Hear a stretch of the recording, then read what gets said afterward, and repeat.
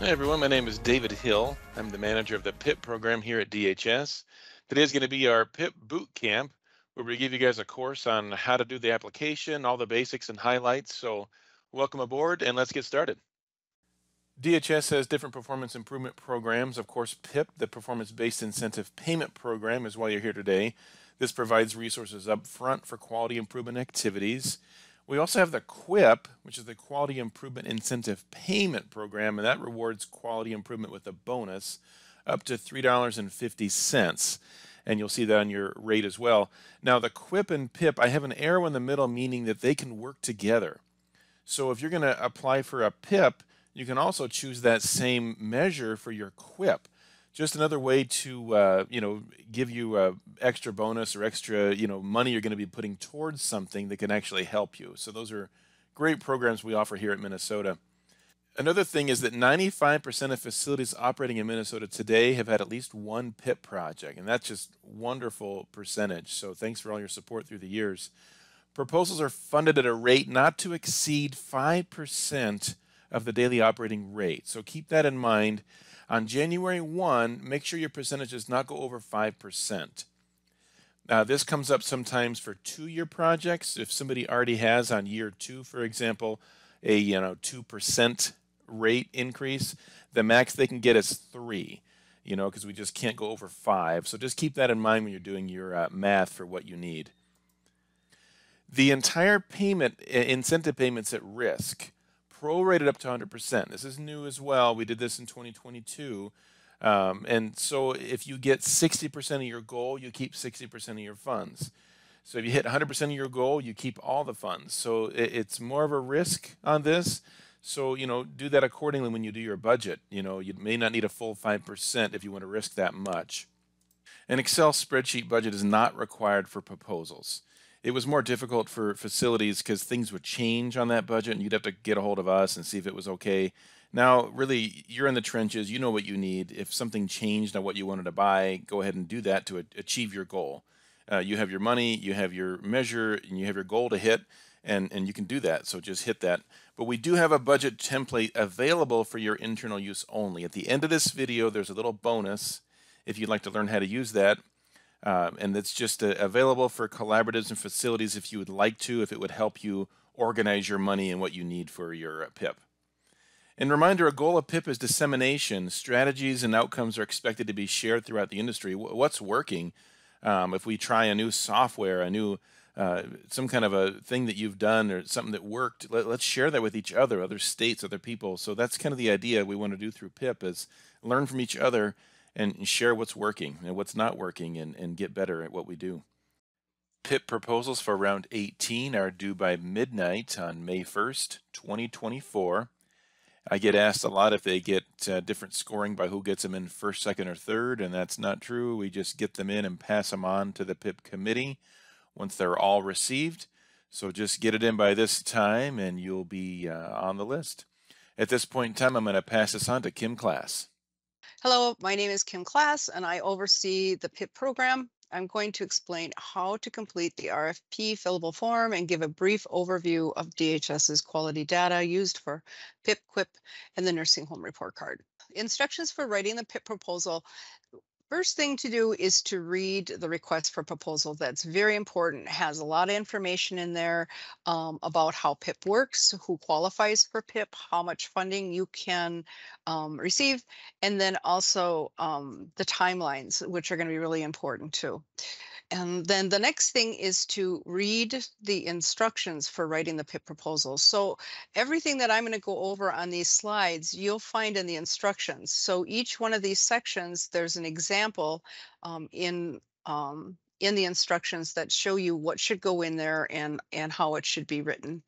And what's great now is is that we only have um, eight sections to complete, which goes pretty quick now and, and the other thing too, I was going to say about the instructions is it also holds in the back. There's some appendages that'll be really easy. I mean, really good to look at too. Gives you some tips for um, the selection process. Gives you the tips on resources and then um, how to write it. So it, it'll it's worth your time to take a look at that. So now we'll move on. Next slide. So sections one and two is pretty self-explanatory. We're looking for the contact information um, for the facility. Um, that's important too, to make sure we include um, email addresses, especially for collaboratives. So um, the facilities that are joining in the collaborative need to include their um, email addresses uh, because we will be using that to contact them um, when we're when we start the reporting process. In section two, we want you to pro provide a brief overview of the facility. So where the facility is located, um, the population, um, you know, anything that is unique about your facility, include those in the description so we can kind of get a feel for what your facility is like. Collaborative projects, we want to make sure that you, decide, you describe a clear plan of the collaborative leadership and the expectations from the members of the collaboratives. That will be very helpful. And we'll go on to section three. Section three is just the intro, um, briefly describing the problem and how the project will improve the quality of care and quality of life of the nursing home residents. So this is a brief description of the problem and what is the facility plan to do. So making sure that the proposals address those topics where facilities baseline um, data supports that problem area. So section four this is where we identify the problems. This is a really important part of the RFP. So you want to provide a detailed description of the problem you want to solve or need to improve.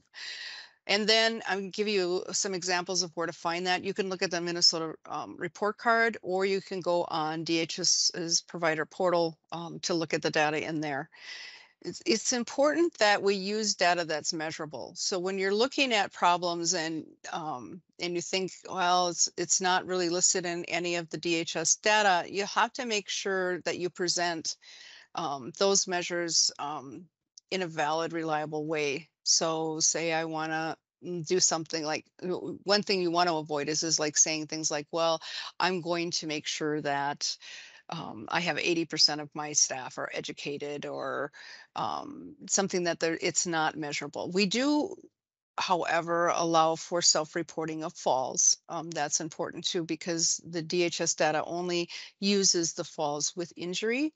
And so that's something that we self-support. We try to stay away from um, medication too, um, where people say they want to decrease the amount of medications residents are receiving. That's a harder one too. Or antibiotic usage. It's harder for us to track that. Um, and we have in the past um, allowed those and it gets really messy. Um, so we kind of like you to focus on something that's really clear and that the data can be found um, publicly.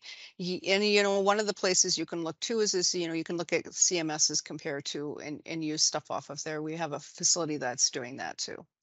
So, and the other thing too is, is make sure that you know, you're doing a really good root cause analysis when you're looking at these problems and that you bullet bullet point those issues.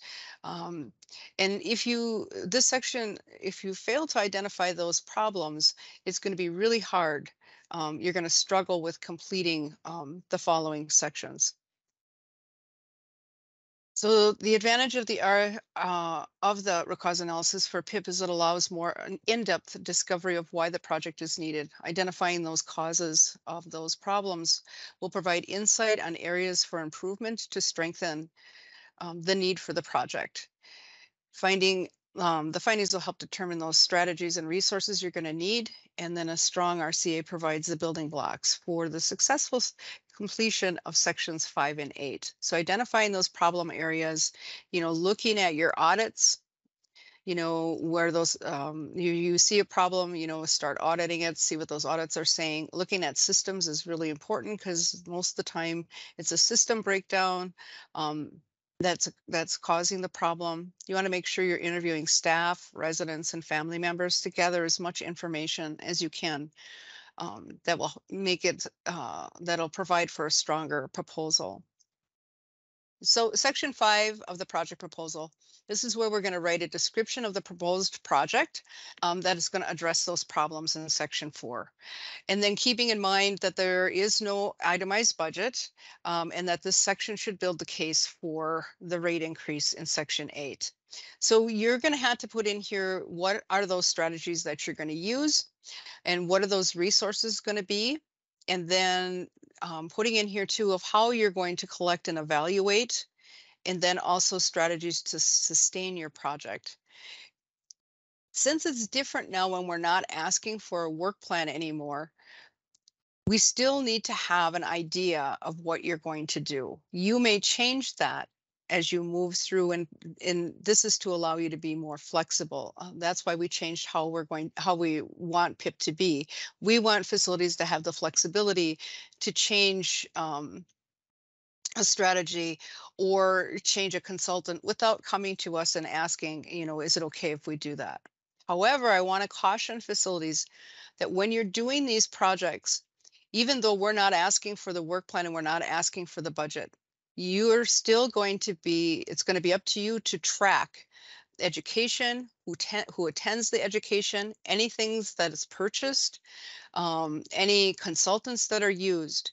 Because in the end, if you don't make the goal or say the project stops um, for some reason, we stop it um, and we ask for a desk audit, um, we will, you know, to be able to take into the expenditures that you spent on the project we need to have documentation for that. You also need to keep that documentation for audit purposes. If the project is ever audited, you're going to have to be able to show where that money went. So that's why it's important to keep in mind, even though we're not asking for that budget, we're not asking you to give us receipts, you need to track it for yourself so that you know if something should occur and they somebody's asking you about that funding, you know where to go to get that information. So again, talking about what are you proposing to do? You know, it's important to do research and looking at evidence-based interventions and how they worked in other facilities or settings to address your specific root causes. Um, focusing on quality improvement activities that will increase the effectiveness of the care you deliver without increasing operational costs is always a good thing. Understanding how VBR uh, may support the ongoing sustainability um, meaning that if you hire somebody in the direct care, so say I hire um, CNA or whatever I want, an extra nurse, um, that those costs will be built in um, moving forward. So even when the project funding stops um, through BVR, you can continue with those positions because they're built into your rates. Um, and then investing in human and um, physical and human capital so that you can um, yield those benef benefits beyond PIP. Um, and then choosing uh, the PIP project that's central to the mission and the organization. And it's a good thing to look around to see what other facilities have done also what's a great thing to do is is looking at what new technology is out there. We've had lots of pips coming in that are pretty innovative um, that are using a lot of technology out there. That looking at different technology and bringing technology into to the facilities um, there's the safe being people have used um, there's um, couple other things that people have used and sometimes that technology can become frustrating but that's okay um, because we need to let these people into the facilities with their technology so we can see what meets our needs and what doesn't meet our needs. Examples of some resources you know looking at consultants staffing positions education what education we're going to provide that's a huge deal when we're doing this um, making sure that we are educating our staff um, hiring of positions, tools, materials, web-based education, certifications. Um, you know, this is a good place to get funding to have people certified in infection control and activities. Um, those things all count towards this. Um, updating your software, um, getting new software in, we do that too. Equipment, you know, laptop, iPads, iPad, iPods. Um, a lot of people have um, find things like um, it's never too late. Um, that's been in there. Um, virtual um, reality. That's been another thing that people have been using too um, in projects. So there's lots of things that are out there. And so we keep that in mind when we're thinking about that problem that we identified. And most important, keep in mind these costs would be reflected in the rate increase. So that's why it's important that we include these things in this section so that when we're looking at that rate increase, we can say, oh yeah, we know that they needed $200,000 to do that because, you know, they have consultants, they have education and they're, you know, they're um, buying equipment and those types of things. So section six, um, references for project success. That's always important to put that in here to provide a list of the websites that you're going to use. Um, cite them for your proposal. Um, and I did uh, include in the um, in the instructions too on the back page, there's some reference material there too um, that you can look at some different sites. I also, when you're working on a project, um, I am open to review your RFP. I am not part of the selection committee. I can help you um, review your data, um, maybe look at, um, talk about what you want to do, if that's a good fit, and help find resources um, for projects that you want to do. I do have a lot of resources. And then section seven, this is the performance measures. And so this is really important too.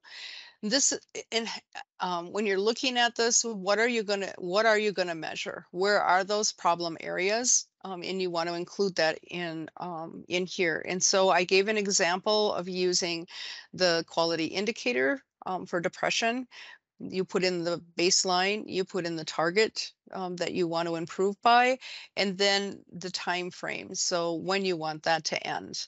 And I also included in here the quality of life. So you can see too, the quality of life is done yearly. Um, so when you're reading these instructions, and if you go in there, it'll explain a little bit more about how you want to look at those timelines and when you want that project to start. So so the proposals um, should address topics where the baseline data supports the topic of the problem area. Existing collaborative or chain organizations may submit more than one proposal, which splits member facilities into groups that share common problem areas.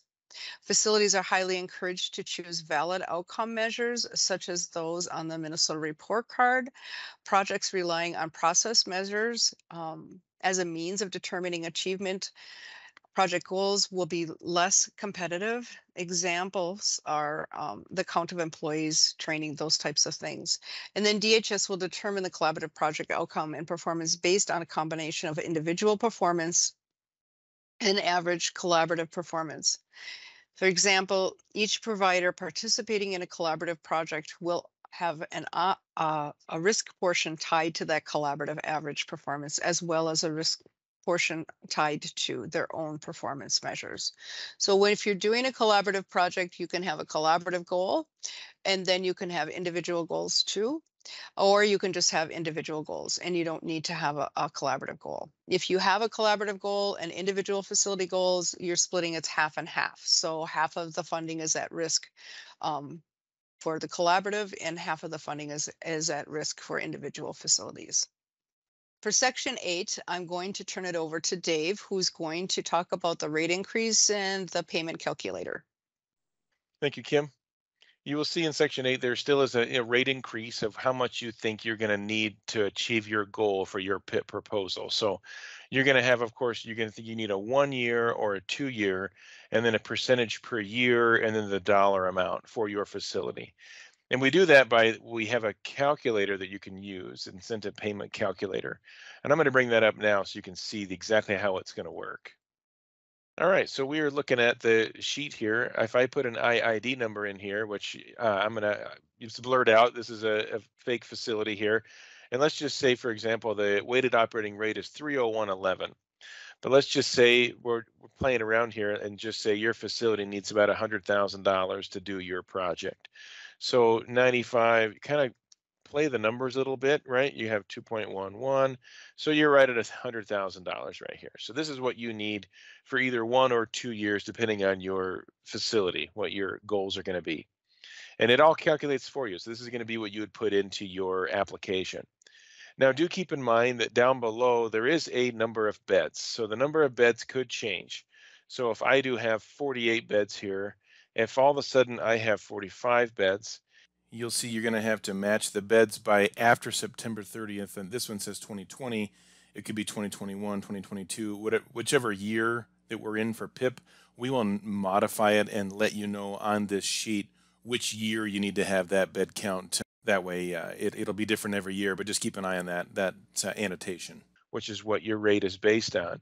So you'll have to put a date that's after that date. If you did 9-1-2020, it'll give you a error message that it's before October 1, right? So let's just say you had it on 11-1-2020 boom, there it is. Now your number went down. So you can see your number is no longer the 100,000 here, it's now 94 because your bed count changed. So you'll have to bring the numbers up a little bit in the section up here. So we're going to play a little bit here. So let's say 2.1, 2.21, 2.25. All right, so then we're back 2.25. It had to go up a little bit because your beds went down. So you can see how that that works here. Let's just say, for example, you went up in beds, so opposite direction. Now your numbers have gone higher. So even though we might have been low twos earlier, now we got to bring it down to the ones because the numbers went went down a bit. So we're going to go 1.80, 98, 1, and just kind of play around with the numbers. This is kind of the only way to have fun with this. 82, 1.83, and then we are probably there at 1.84. There's our 100,000. So it went down a bit, your percentage, because your beds went up. So this is going to be your new number. If you had no bed change, then you can just keep it right where it's at, and this is your number for getting your numbers. Calculate your, your final budget here. So that's how you use the form. This will be available to you to use, and uh, good luck. Back to Kim. Okay, thanks, Dave a good place to look at um, prior projects um, is on our website for the PIP. Um, each project's um, each round has the project summaries in there, as you can see, all the way down to eight. It's really good to look at this because this gives you ideas of what other facilities have done. It gives you a description of their project. It gives you their goals that they're working on, and it also shows you the amount of funding that they're receiving, the percentage of funding. So it's a good place to go in there um, and look and see what's available, I mean, what other people have done. And then also, if you'd like to speak with those facilities, I can um, um, hook you up with them and they can talk um, about their project and what how it's going and how it's working and share um, resources. So the RFP checklist I put in here too. Um, this is what the selection committee is looking for when they look at your RFP. So it's good to look to keep in mind these bullet points here. You know, does the proposal clearly outline those key elements necessary for successful quality improvement project? Because that's what this is. Does it clearly identify and prioritize key concerns? Does the proposal, does the proposed project interventions and resources align with identified key concerns? And then are the goals outlined in the proposal measurable and reliable?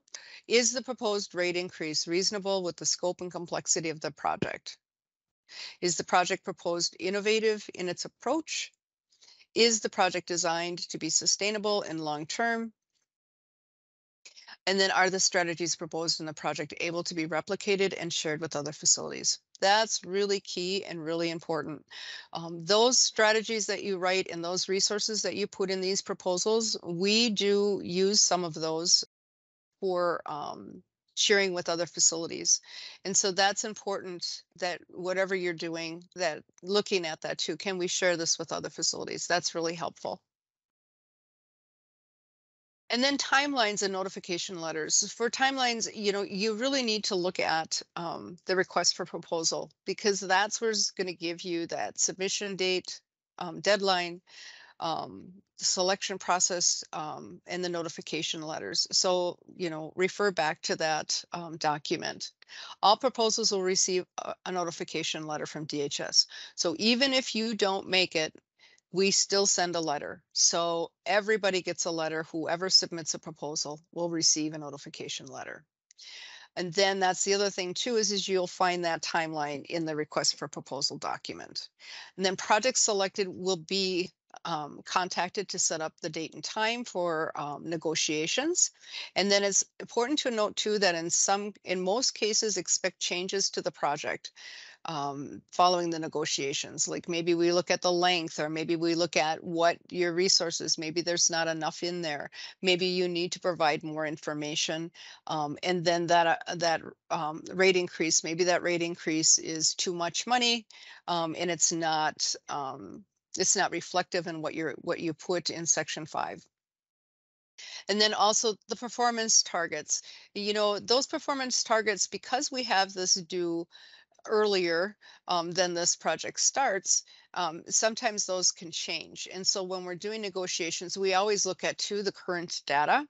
And then in some rare cases, we'll ask you to even change your focus of the project um, because maybe we see an area where you're performing really, really poorly um, and that really needs to have something done and we will um, suggest that you do that. Um, so sometimes we do change the direction of that project too.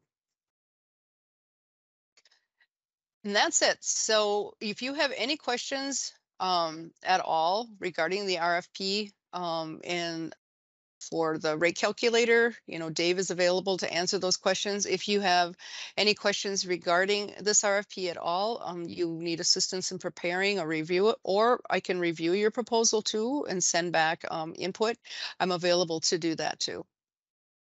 So that's the end of completing the RFP. And for those of you um, who want to stay on, I was I'll do a quick review of the data DHS generates um, for the rest of the session. I'm going to do a quick overview of the DHS data for those of you who are new to PIP. Um, DHS generates data and manages the provider portal and the nursing home report card.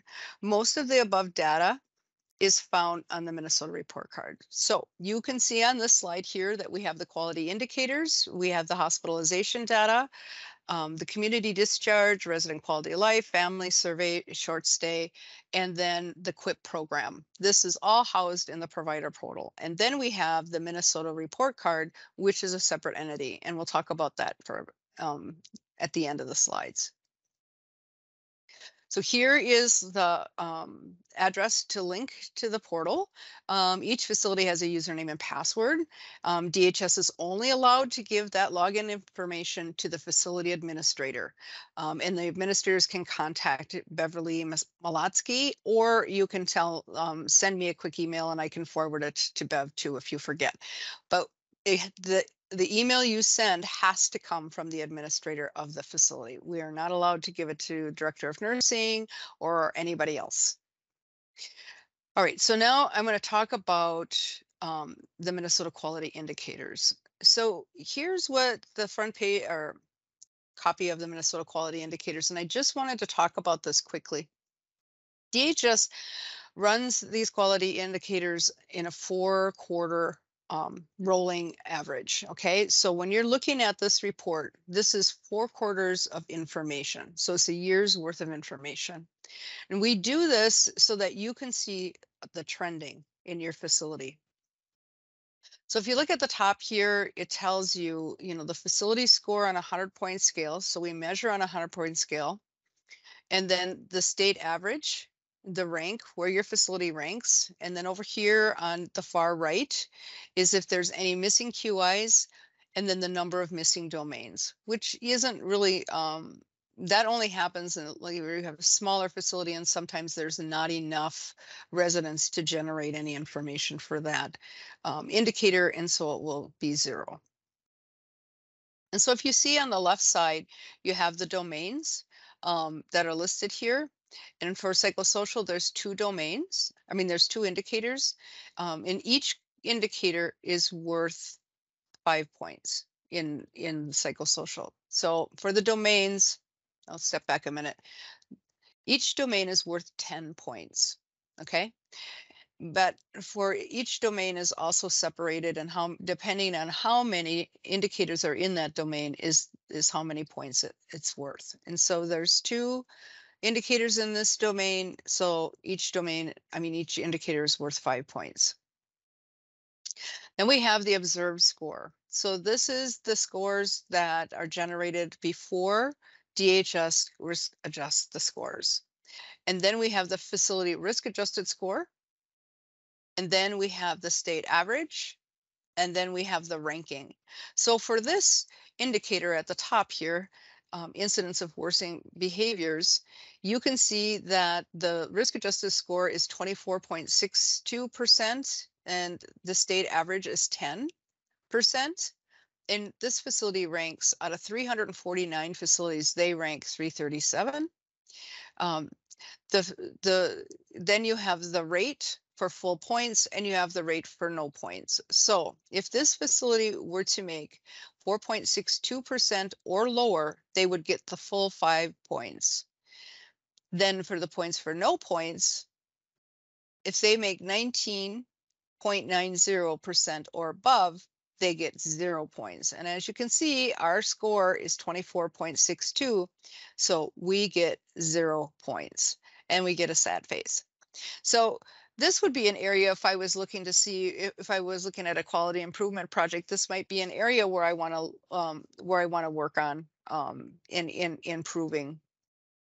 And then you have um, the depression. So you can see here on depression, on depression, you almost got all points. Um, so your score is 2.52. Um, the state average is 4.41. You're, you rank 140 out of 348. But when you look at the full points, you're still above the 1.02%. So you get four points for this um, for depressive symptoms. The other thing too is is that we also included in here the short stay. I'm not going to talk about that though too, but the short stays are included in these Minnesota um, indicators too. They follow it. Next, we have the quality of life survey. It's important to look at the survey too when you're um, looking at areas of weakness, and hopefully you're including this survey in your um, QI meeting um, um, to see where the facility is ranking. This survey is done once a year. Vital Research comes into the facility um, and they interview residents. And then they also at that time send out the family um, survey, mail those out too. And so you can see here up at the top, um, they give the observed um, scores and then the risk adjusted. And then the overall percentage is given there too. And then each domain is listed. And so when you go down here, you can see how you're ranking, you know, like you're doing well, you're over the state average with activity domain. You can still do better, but you are above the state average there. And when you're looking at the food domain, you can see you're at 72% and the state average is at 75. And you can think, hmm, what's going on with the food? And then you have the environment, dignity, all the way down to mood. And then it gives the overall score at the bottom, and you can see your score is 6.26 and the state average is 6.34 that much off of that. So when you're looking at the score and you look at this food domain and you're thinking, okay, what's going on here? Or any of these that are ranking below the state average, then you can go to um, the the um, the questions, and that's on the observed report. And so next we're going to look at the observed report so on this report, it's important that you look at this observed report too, because it holds a lot of information about how many residents were surveyed in the facility and also gives you the state average of how many um, surveys were done. And so overall throughout the state. So that's good information to have. So when we're looking at food enjoyment, we can come down here and see there's four questions and we'd look to see, well, what's going on here? And so we can see that it says, do you like the food here? So 18 residents responded and these are always in a positive and 83.8 uh, 83.3% um, give the positive result. And last year you can see, or not last year, in 2019, it was 81.8. So you think, okay, so they like the food here. And then you look down to the next one. Do you get your favorite food here? And this is where you can start to see where your score is going down. Out of those 18 residents, 38.9% were positive about that, where last year or in 2019, 50% were. So this would be an area that you start to look at, you know, do we ask residents what their favorite foods are? Do we make those foods here? Um, this would be um, an area where you could focus on. The next thing too is, is that does that menu change enough? enough? When you're looking at, you can see here, um, the score has dropped from 2019. So those two areas here might be areas where you want to look at and making some change for residents. When you're looking at this food domain too, I would also go back to the quality um, indicators and see what's happening with weight loss and seeing if there's a correlation between the food enjoyment and weight loss too. And if there is, there may be a problem there um, where maybe we want to start looking at favorite foods for those people that are at risk and making sure that we provide that for them and becoming more um, resident centered. This information is also found on the Minnesota report card. So um, all of this information that we talk about is, is found there too. And then just quickly, we have um, the family satisfaction survey. This survey also goes out at the time that vital research comes into your facility. So when vital research enters your facility, they also mail out these family surveys. And Vital Research also follows up with a phone call um, to any of those unanswered surveys. And then the these results too are shown on the Minnesota report card. The same thing with your short stay experience. Um, these are participants with um, 30 days or less that are identified on the MDS and Vital Research mails out surveys starting each January. So right now, Vital Research is um, sending out those surveys and those results are shown on the Minnesota report card. And you can see too what they're looking at, admissions, clinical care, therapy, assistance, communication, um, dining. If I'm looking for, uh, I'm, I'm going to have a surgery and I'm looking for some place to rehab, these are the, this is going to be what I'm going to zero in on when I'm looking at that Minnesota report card. And then we also have the hospitalization data. So we're looking at the short stay hospitalizations. So we're looking at that rate within 30 days, how many people were readmitted back to the hospital. We're looking at long stay, how many res residents are um, admitted um, after um, 100 days, and then the short stay and, and long stay community discharges. All important information too, and this may be someplace that you want to look at for doing a project. And then we come to the Minnesota report card. nursing home report card and we have updated this i don't know how many of you go on here but you should go on here it has a lot of information regarding your facility and facilities surrounding you so i would putting in the search engine now gives you the long stay search and the short stay. So if I'm somebody that's looking for a facility, I know that I'm going to have to rehab in, I would do this short stay search um, and pull up the data to see how the nursing home is doing. The same thing if I'm looking for someplace for my parent to go, I'm looking for a long-term nursing home, this is what I would pull up. And then once you pull this up, you can compare nursing homes in the surrounding area. So it's really important that you pay attention to that nursing home report card and what um, and what the outside public is seeing, you, just like you would with the CMS um, compare. And so when you're looking at the long stay, they use the five star rating and we look at the Minnesota qual uh, quality indicators. We're looking at um, the, the quality of life survey, the family survey, the state inspection results are there.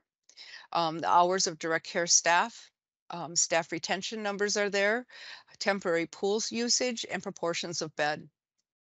And so there's a lot of information that you could be using to, to be um, doing a PIP um, we could be looking at doing maybe a staff retention um, or, you know, along with pool uses to decrease that pool. This is where you could find um, the scores for that. And that's the quick overview um, of the data. And then the last slide is the context for questions regarding DHS data. So for portal, again, um, would be Bev Malatsky. I included her email address here. If you want any assistance with data, how to interpret it, how to do root cause analysis, you can certainly um, contact me and I can help you with that. And any technical issues that you find, um, you can contact Teresa Lewis. Um, technical issues being too that your numbers aren't coinciding, um, what you have and your data uh, um, is showing and it's not reflecting in DHS, you can contact Teresa and um, she's more than happy to help with that too. And that concludes my quick overview of filling out the um, the form, um, the, the the fillable form for the RFP, and the quick overview of the data that we have that you can use doing your PIP. Um, and if you have any questions, please again feel free to contact me or Dave. Thanks.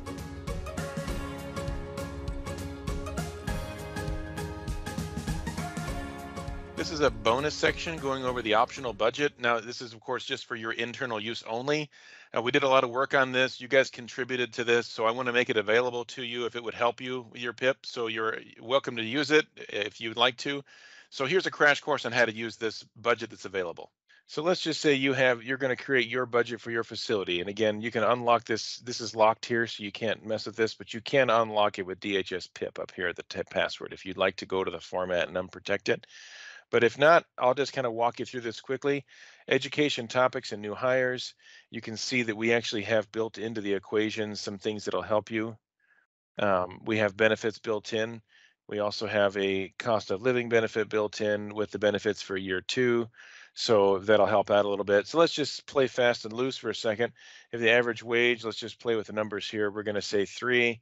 We're going to say seven hours and we're going to say there's five staff, right? It's going to calculate for you the benefits and the salary for those people. And let's just say that's the same for year two. So we're going to walk down the list. We have 30 hours, maybe a little less for year two, and we'll have the same amount of staff, right? So we'll have that on there. So it calculates the numbers automatically in in for your training, whatever you need to do, and your nurse supervisor, your coordinator, different, and you can add more people in here if you'd like it, it will just tabulate for you so you can copy it down. But if you did that at the budget summary at the beginning, it will bring those numbers over. So if it does help at all, you can have that in there. Travel and conferences, you're going to go on a trip for something. You got your flight, you got your conference fee, you got your lodging, which was another, say, $150. You got your meals, $50. You got your mileage, and you're going to be driving a little bit there. So it's going to be 80 miles. So and it calculates the uh, 58 and a half cents per mile, and therefore you're already. So it just kind of gives you a quick estimate of what it would be. And you're going to do the same trip for several for both years. You're going to send staff several for two years. You know, you can always have it for year one. Put that down for year two, 84680. Go back to your summary, and it's going to put it in there for you. So that that'll pop right in there. And we have equipment needs uh, education topics. We had your new hires as well. I didn't mention that before. You, if you have a new hire, you're going to bring in somebody. Uh, you're going to bring in one more person. The average, you have your, their average salary. Let's just say it's put it at put it at the same number at 30. And we had dementia training. Um, they're going to be working on anything you do. It's going to bring over for within your costs in the front sheet, right? Travel and conferences we did that one equipment needs whatever you're going to buy you're going to buy some weighted blankets you right? You need you're going to need 30 of them right? And they're $100 a piece bingo it's going to bring it down to $30 you're going to do some ipads for year two. Let's say they're $500 each or i'm sorry you're going to need 10 of them and they're $500 each. Boom there's your 5000 budget summary. It brings it over for three and five um, consulting fees, let's just say you're going to hire a consultant for year one uh, and year two, 10,000, play some numbers here, ding, it adds up there. Training and development, you can have your people here, it automatically adds in benefits. We did a 0.302. We also added a cost of living increase for year two. Let's just say you're going to have your 15 employees, hourly rate, and you know you can play around with this for all your different people. Departments for your internal work, right? Uh, if you need to label departments on there. And it calculates for you the total. You go back to the budget summary and it brings it to the front page. Uh, PIP committee meeting, same thing, right? You can bring in your people, the people and what you're going to do, and then it's going to tabulate it for you. So number of employees, you're going to have 10 in that meeting, hourly rates at 30, departments internally for whatever you need to do. For PIP committee meetings, let's say you're going to do one hour a week, uh, one hour maybe biweekly for year two. So you have an hourly rate of thirty dollars. You have two staff members, you know, in different areas, and it's going to calculate their hourly meeting, right, for for per week for year one, uh, biweekly for year two, and and that's kind of how we calculate these out 52 you know divided by 26 give it a little cost of living increase for year two so just these are just kind of fast and loose showing you how it works and then when it's all done you can kind of get a tab- tabulation you know of what you would need for your budget for a facility. So again this is not due uh, you don't got to turn this in but if it helps you at all please use it. You know if you have get questions on it let us know. But that's for an individual facility budget. If it helps at all, we do have a collaborative budget that if you're going to use this one as well, the first thing I would always do is, you know, you have facility one. Let's just say you're going to have Happy Homes, right? And then and you're going to have Glacier Falls. If you do those, if you can label all the facilities, it's set up to tabulate to every single one of them is going to give you those titles. So Happy Homes, Glacier Falls is going to go down every single tab. So if the collaborative budget, again, this is going to tabulate from what you're working on. So the same thing before, let's just say you're going to have an uh, expense for a, a, uh collaborative, you have a fee of some kind, you're going to hire a consultant, right? It's $5,000, $5,000. You go to the main page, it's going to calculate it for you in the collaborative or the consultant fees you're going to have. Project supplies, same thing. You're going to have a weighted blanket. Let's say you're going to have an iPad um, the happy homes they're going to need a bunch of ipads and it's going to cost $3000 then same thing. Glacier falls maybe has more people so they need $5000 for theirs. So and not $55000 there we go. And then you go back to the collaborative budget it's going to go down any facility that you do. So really just kind of walk down the list um, education they need to do for facility equipment needs. You can tabulate all those um, new hires again. We tried to add with benefits in there 0.302 just some numbers that we came up with it might help. 302 and a cost of living increase um, again for the year two putting it in there. So if you want to have and again it'll tabulate through everything you did. You can go back to the beginning right in your collaborative budget. Will give you a total for each facility that you're working on for a collaborative. So again these are just tools that you're welcome to use. This is not required but uh, we just thought maybe it would help out if you had this as a bonus. So